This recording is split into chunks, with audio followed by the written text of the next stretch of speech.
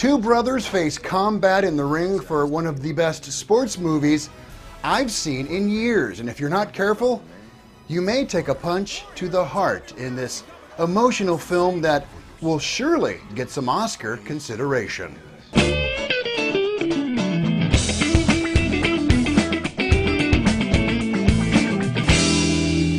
Brett Martin of the Broadcast Film Critics Association, thank you very much for watching.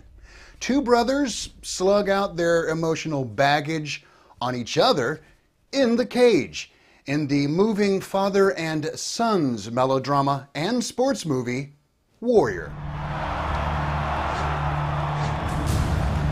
Growing up, we all want to know the toughest kid in the neighborhood was, right? I want to know the toughest man on the planet is. That's what we're going to find out. Joel Edgerton plays Brendan, a family man who earns a living as a daytime physics teacher and needs extra cash moonlighting as a local fighter. His brother Tommy is played by Tom Hardy, a brooding war veteran who has returned home under mysterious circumstances. Now, Tommy and Brendan's father is Paddy, played by Nick Nolte, a once violent alcoholic who is now sober. The brothers have grown apart and dislike each other very much. The only thing that they can agree on is the hatred they have for their father and all those years of mental and physical abuse. Brendan, it's me, Pop. What are you doing here? Tommy's back. Did he say if he wants to see me? I'm proud of you, Tommy. What you did for that kid in the tank. What was I supposed to do? Let him drown? Through a series of MMA or mixed martial arts fights, the two brothers face off for a winner take all cage match. Brendan needs the money to save his home and his family, and Tommy wants to win for a friend and a fallen soldier. Nolte's character, he just wants his sons back. They pulled off a miracle. You can do this. What do you say? I can do this.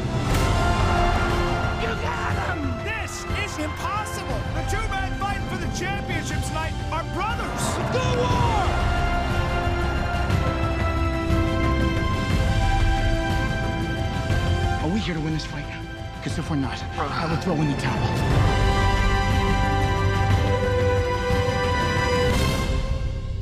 The brutal MMA fighting is a perfect backdrop for this family drama that just may leave a lump in your throat. Now, as a side note, Jennifer Morrison plays a solid supporting role as Brendan's wife, Tess. It would have been nice to see her character really kind of develop more and be a part of the storyline. But kudos to director Gavin O'Connor. He also directed the popular film Miracle a few years back.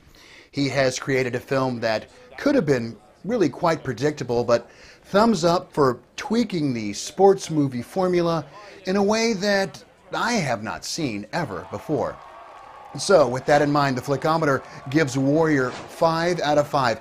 It's really impossible not to recommend this movie. The physical and mental conflicts, crisp acting, and great storyline are just too good. This film should be recognized come awards time. Is it the same as Rocky or Raging Bull or even The Fighter? We'll see.